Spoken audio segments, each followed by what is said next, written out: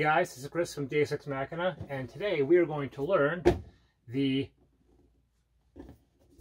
1 to 4 player game Naramata, created by me and published by Dias Ex Machina, which is also me. So let's learn how to play. In Naramata, players will be assuming the roles of tour guide operators traveling from Penticton all the way to Naramata in Okanagan wine country. At the beginning of the game, you pick up tourists and, and try to satisfy them through visiting the various wineries along the route. At the beginning of the game, each player selects a vehicle. In this case, we have the uh, black vehicle, the white vehicle, and the silver vehicle. There's in total six potential vehicles to choose from. Players then, uh, then pick up the matching Meeple, Veeple, and color-coded discs. For this game, we are going to play with three characters, so the remaining characters will be returned back to the box. Shuffle and put out the upgrade cards. As we can see here, there are cards that are reserved for four-player games and cards that are reserved for three and four. If you're playing with two players, remove any of these cards. If you're playing with three players, like we are uh, with this game, remove the four-player cards. Then shuffle the deck and draw out four cards across this row. This row indicates uh, the available upgrades you can purchase. The cost is indicated above here. This one doesn't cost anything, it just costs what we have listed here as five. This one costs one more, so it's indicated by this. This costs one more, this costs one more, this costs one more. So this one costs eight, this one costs eight, nine, ten, and this one costs seven, eight, nine, ten as well. Retrieve and shuffle the tourist deck. Hand out five cards to each player. Each player places one of their discs at the five point indicator on the point track. Shuffle and place the purchase, tasting, and cheese decks in their respective spots. Generally, the last person who's been to a winery goes first. In this case, we will pick the white player. That player goes at the beginning of the clock on the bottom of the tracker at 11 o'clock. Then clockwise, each player places their meeple above it. The order of height determines who goes first. The person closest to the to the time is the next player.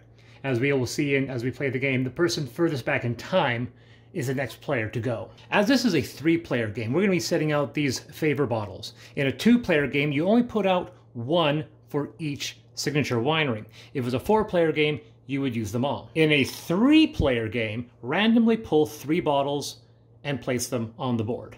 Put out the two token trays easily accessible to all players. You may think you need to place your vehicles on the board, but you actually don't do that just yet. Also, set the cork day tracker to day one. You can set how long you want to play the game at the beginning or partway through the game. I recommend uh, selecting that at the beginning of the game because it does change your strategy throughout the game. For this, we are going to be assuming a three-day game, which is standard. If this is your first game and you're still learning, potentially just limit yourself to a two-day game. And if you have a lot of time and know how to play the game, try the challenge of the four-day game. At the beginning of a day, each player looks over their hand of five cards and selects one, one tourist to play. Although you can do it at the same time, it's not terribly necessary. Each character reveals the tourist they selected. At this point, you have a choice. A player may either discard that tourist to gain two prestige.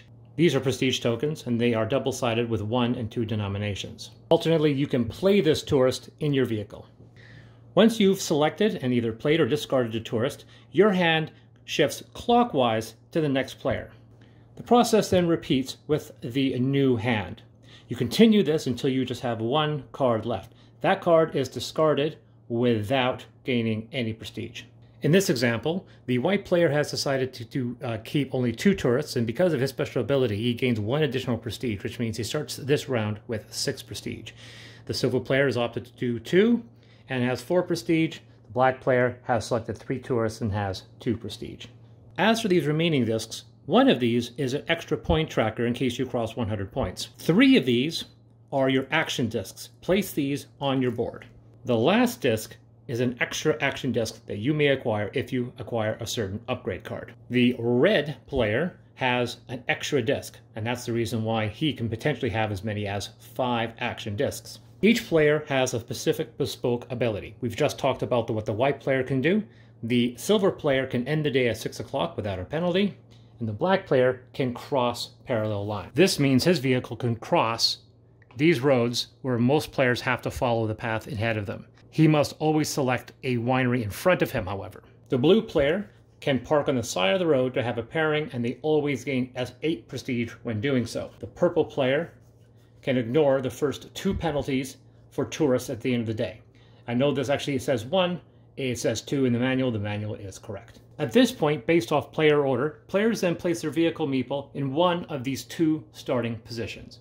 Now, the actual position may be important as this one has more cheese, this one has more tastings. In this situation, the white player will pick the upper route, the silver and the black will place the lower. The game may begin. On their turn, a player must move forward along the map and select one of the wineries in front of them. Once you select a winery, you can never go backwards. You must always follow the road.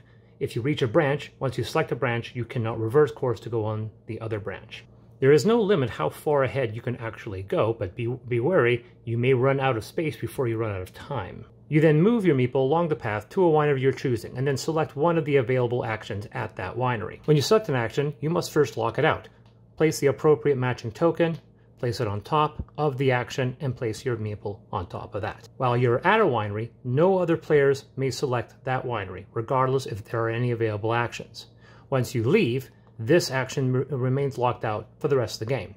There are opportunities to have these removed, but for all intents and purposes, this action is no longer available. All other actions are still available, even if a locked action is between you and the road. Every action has a time cost. A cheese action costs 30 minutes, pairing 2 hours. A favor is an hour, purchase is 30, tasting is 60, and a photo is 30 minutes. As the white vehicle has selected the tasting action, they advance their meeple one hour. Every action has a very specific sequence of events that must be carried in order. Select two cards from the tasting deck. Select one card to attach to one tourist. If you wish to place both, the second one costs two prestige. If you don't place a second one, you can trade that extra card to gain the prestige award along the bottom. In this situation, since I have no, uh, no tasting cards attached yet, it'd be best to attach this one and then discard this one as it has a larger reward. A tourist, each tourist has a very specific criteria of what makes them happy. These are satisfaction rows. In this case of this tourist, they want photos, they want favors, and they want pairing. With this tourist, it's cheese, tasting, and pairing. The vast majority of tourists will want a pairing. So with this card, we would place it behind this tourist as they require a tasting to be satisfied. And per the discarded card, we gain 4 prestige. As you can see here across the row, there are several uh, upgrade cards that allow you to modify actions. This one, you can place a token, an action token on it to reduce an action by 30 minutes. This allows you to always gain 9 prestige when you do a pairing action. This gives you a plus two to any, any rolls dealing with photos, and this one allows you to draw one extra cheese card. As it is now the black vehicle's turn, they're going to move along their road and choose one of these actions or any other winery along the route. But they're going to choose the earliest cheese action. As before, place the lock token onto the action and place the vehicle atop of that. A cheese action costs 30 minutes. Move the meeple to the lowest point 30 minutes ahead. If it was an hour action, you would place the meeple above, but as they are on their own row, they go to the bottom. Just as the tasting, you draw two cheese cards. Cheese actions operate exactly the same as tasting, except the rewards, as you, as you will notice, are smaller. In this situation, we're going to try to place both. That involves spending two prestige to play the second card. As this is a set collection game, you cannot place the same card on the same tourist, which means as these are a different cheese cards, these can be attached to the same tourist. If you had drawn two of the identical cards, you could play them on different tourists, but you could not place them on the same tourist. The silver player is next, and as you can see, they cannot select this purchase action, and they cannot select this winery because the player is here. If the player moved on, this action would still be locked, but this action would still be available. In this situation, the player wants to move all the way to do a purchase action, locking the action and placing the vehicle atop. The purchase action costs 30 minutes, so they'll move atop the black player. The purchase deck, although appearing to function similar to tasting and cheese, actually functions differently. Draw two cards from the deck. You'll notice that these cards do not have a prestige reward. Instead, the prestige symbols are inverted. That's because these are a cost. You may acquire any number of, of purchase cards that you have drawn.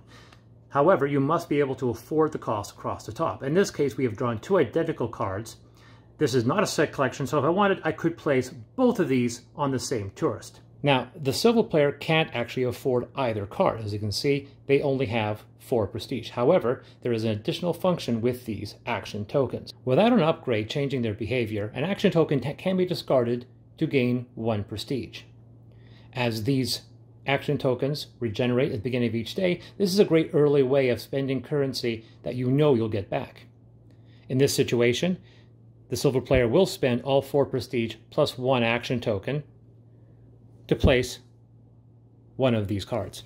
And the card is placed behind the tourist, just like a tasting or cheese card. The unused purchase card is discarded. Despite the initial arrangement, the black player is actually next to go. They are closest to their time, and they are the furthest back on the clock track. The black player can select, once again, any winery ahead of them. They can't select this winery as the, as the white player is there. They can't select this one as the silver player is there. However, they do have the ability of crossing roads. However, in this situation, they're going to move ahead to the pairing action. As before, place the lock token on the space and place the meeple atop it. A pairing costs two hours. However, it also comes with a prestige reward. This reward is based on when that player took the pairing action.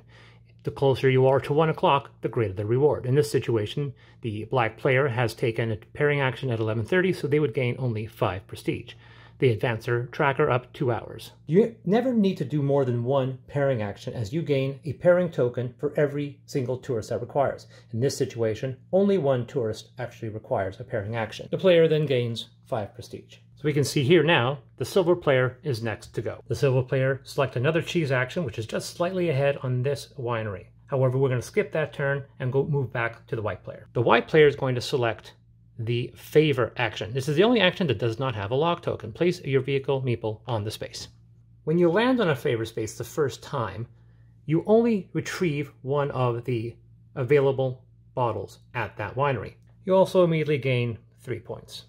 On subsequent days, if, this, if a player lands on a favorite spot and they possess the matching bottle for that signature winery, they may accomplish any of the available actions at the same time with a one hour cost benefit. This means that uh, if this was day two and the white player is landing on the spot, they could do all three actions for only one hour. As this costs one hour, these two cost a half hour, minus one hour becomes one hour. However, if you just did these two actions, it would still be 30 minutes as you cannot reduce an action below 30 minutes. A favor costs one hour.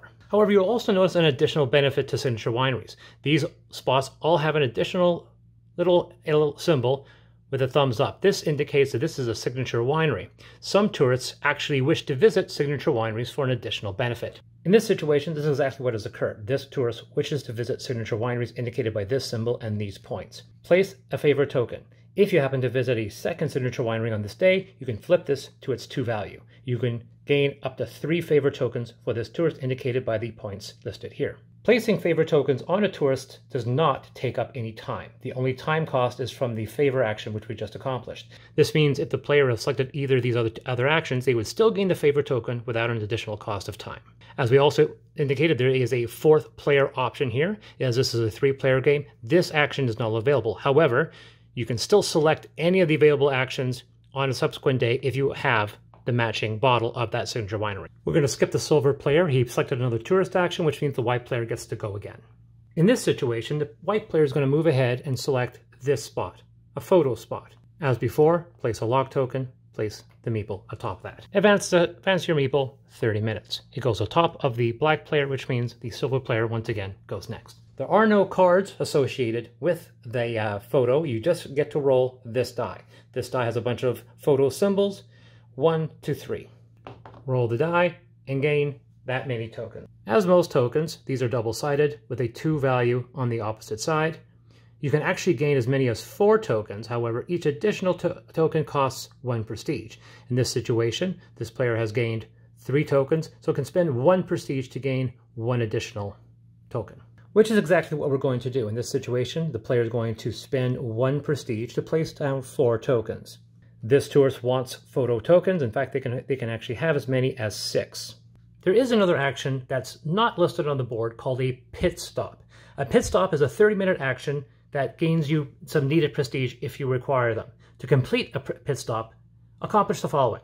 Move ahead to any winery uh, uh, in front of you and select one of the actions. Lock that action as you would normally, but you do not accomplish the action. Instead, roll the die and gain as many prestige as that value plus one. In this case, the silver player would gain 3 prestige. As the groupers are on the same time, the black player would go next. But at this point, I want to talk about satisfaction. Each tourist will have anywhere from 2 to 3 requirements. Each of these lines is a satisfaction line.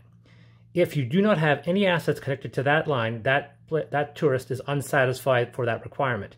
In this situation, we have two cheese cards attached to this tourist, which means even though they are not maxed out on their points, this row is satisfied. This row is considered satisfied even if you have one asset of that card or token.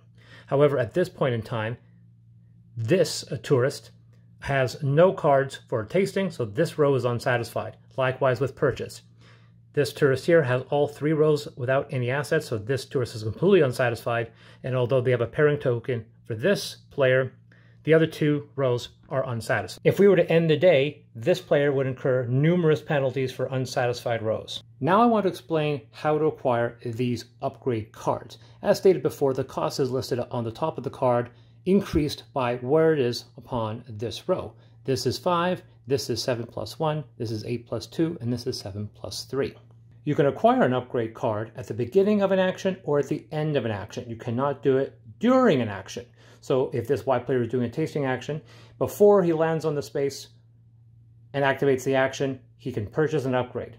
Alternatively, if he's completed the tasting action, he can then purchase an upgrade before the end of his turn. As we can see here, the white player has more than enough prestige, plus these three unused action tokens to purchase an upgrade at the beginning of his turn.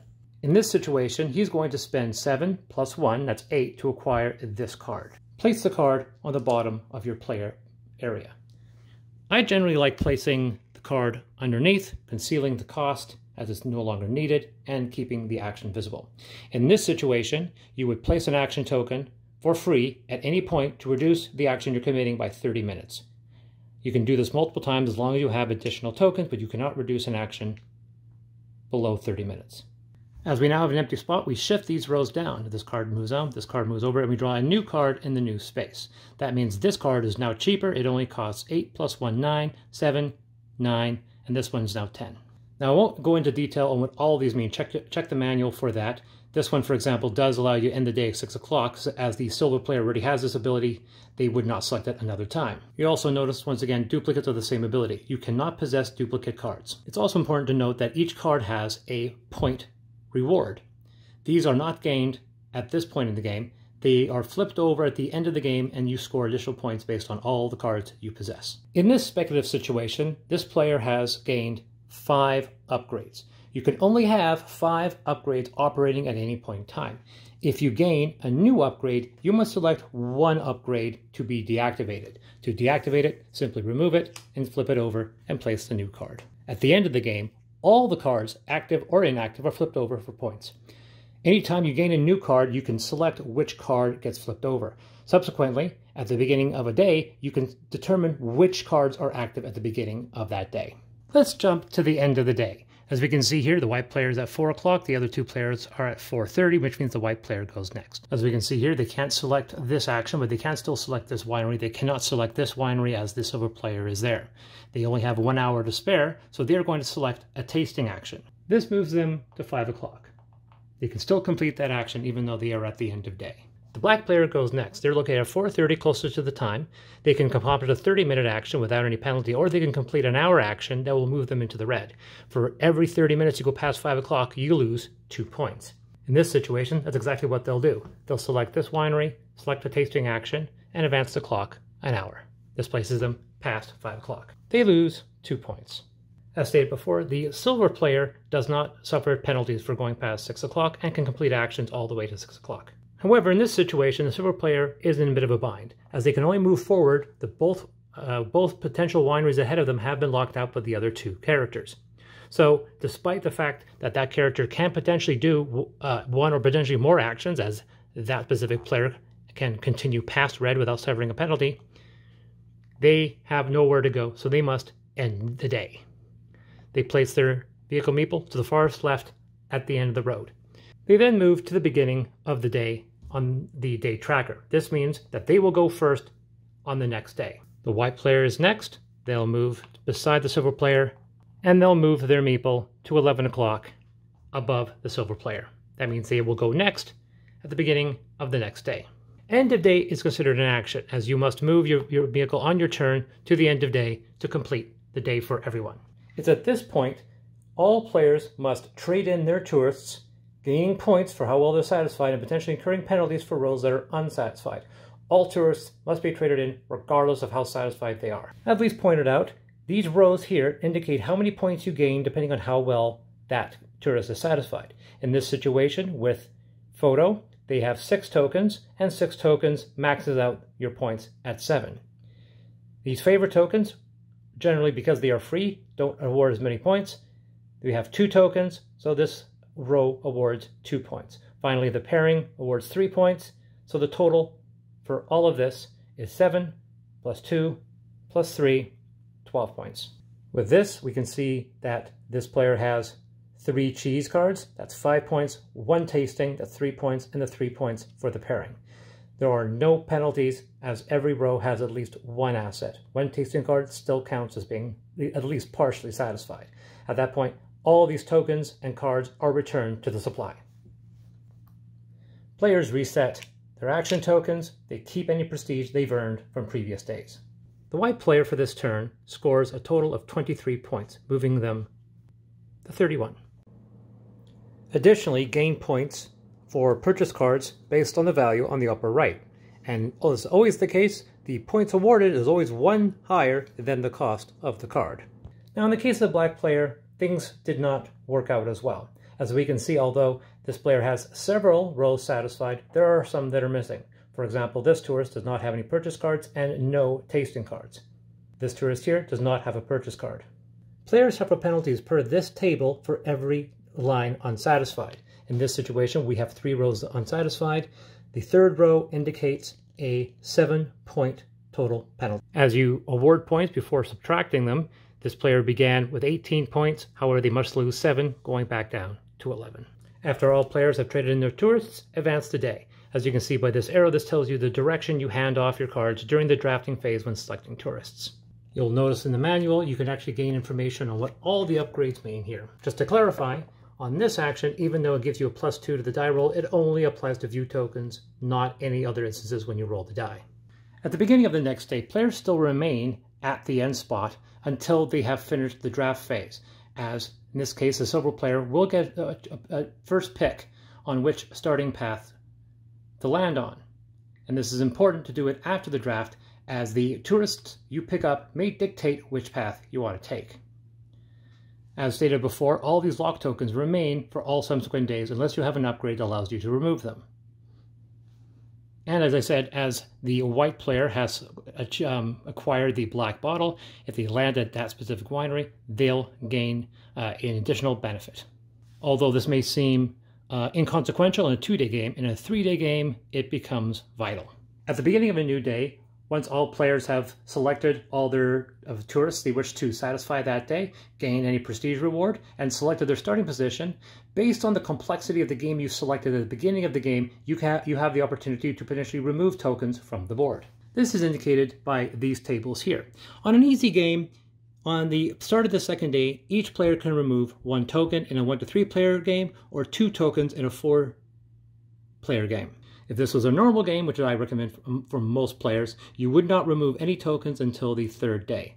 On an advanced game, you rarely remove any tokens at all. Removing a token does not necessarily guarantee that that space will become available for you. As this is an easy game for our first starting game, the, each player will remove one token each. At the beginning of a new day, place a prestige token on each of these upgrade slots. This reduces the cost of upgrades listed underneath them. When you buy an upgrade, reduce the cost by the number of tokens above and remove those tokens. This happens at the beginning of every new day, except for the first one. As stated before, once you reach the end of the game, flip all of your available upgrades over and score points based on the value listed at the bottom of the cards. If you go above 100 points, which is uh, easily uh, accomplishable on a three or four day game, place one of the spare tokens on top indicate that you've passed 100 points. Just as a side, every token has two facings, with the prestige favor, and photo tokens they're all double-sided with a 2 facing on the opposite side. In the case of these tokens, they have two different lock tokens, either photo on one side, or a cheese, or purchase and tasting. The pairing specifically has a lock token and a satisfaction token. And that's how you play Naramata. Now the manual goes into details of what all these cards do. There are additional rules for a two-player game where you can employ a third phantom player that will occupy the board as you play. Additionally, there are rules for a solo mode and a cooperative fleet mode. Anyway, that's the game. This has been Chris from Dias Ex Machina.